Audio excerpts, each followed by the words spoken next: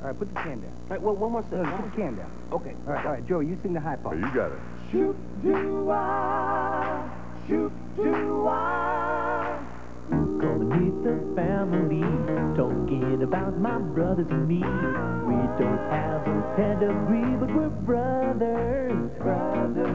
We might follow different dreams, we might play on different teams. Where it counts behind the scenes, we're brothers. We might march to different drums, we might disagree.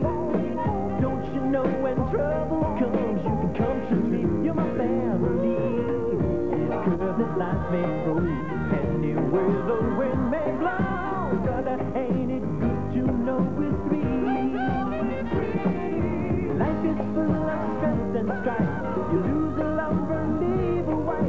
brother's a brother for all your life, but we're brothers. Shook to I. Good, that's it, it's funny.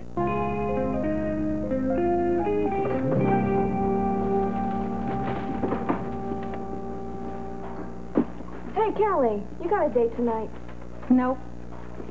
Sometimes I just feel like being alone. You know, thinking about my life, enjoying the comfort of my own thoughts. Sometimes it's important for a person to just be alone. I couldn't get a date either. Want to come over? Sure. Whoa! Joe, want to go to the movies? What are you going to see? Suzette Rash in Slide Willie Slide, The Adventure Continues. I don't think it's for me. Oh, yeah, now listen to this. We see uh, a small suburban home, Anytown, USA.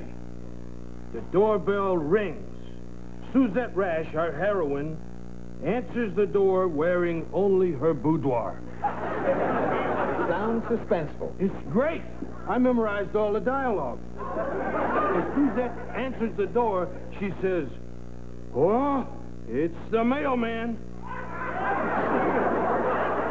And? That's it. There's no more talking in the movie. What time does it start? No, no, I got to do the book. Hey, Cliffy. Hey, Lou. I'm going out and I need some money. How much do you need? What is this, a third degree? Fine, fine, don't give me the money. Take it from the till. Thanks. So where are you going? I'm just going out, Lou. Can I come? I don't think you want to go where I'm going. Oh, you going over to my house? Hi, Cliff. Hey, Kelly. So, where are you going? Okay, that's it. I'll tell everybody where I'm going. I'm going to a place where men go to meet other men. The Rotary Club? Wait a minute. Penny, go to your room. I don't live here. I know that. It's a place I just heard about today. It's near an amusement park in Ridgeton where gay guys meet. You can imagine what kind of rides they got. It's not the whole amusement park, Lou. It's just an area nearby where gays can walk around in public and talk. You know, hold hands. Oh, that's cute. I mean, that is really cute. Makes me want to vomit, but it's cute. I think it's terrific, Uncle Cliff. Penny! Bye. When I say vomit, I mean it in the nicest possible way. Lou. Please. Joe, you never respect any of my opinions on anything.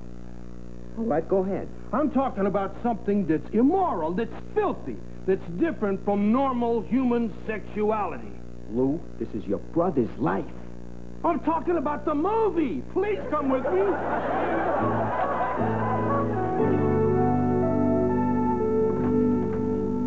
That something? What a small world.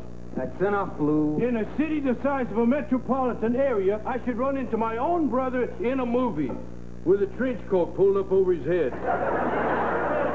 Look like rain. Margaret, Bud, Princess, Kitten, I'm home.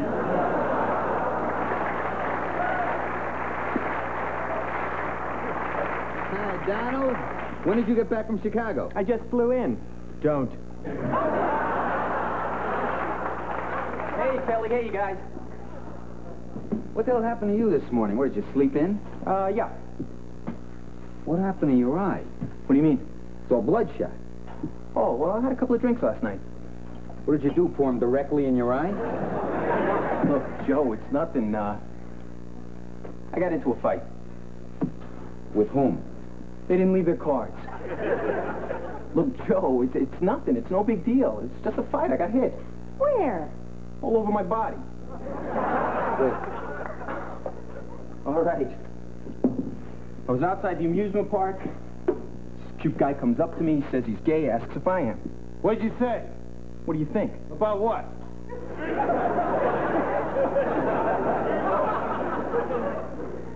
Anyway, I say yes, and then two guys run out of the bushes, and uh, the three of them started in with me. Let me ask you one thing. What? Did you go on the teacups? I love the teacups that spin around. Lou, your brother got beat up. What amusement park was this? It was over at Ridgeton. It's no big deal. Oh, I've heard of it. That park's supposed to be filled with homophobes. Oh, so them homophobes beat up other gay guys because they're afraid of overcrowding? Lou, a homophobe is someone who's afraid of a homosexual. Phobia means fear. See, Lou, a homophobe is not a homosexual. Don't be so sure. Did you call the police? Look, could we just drop this? It's no big deal. No big deal. Nobody beats up my little brother for being a homo except me.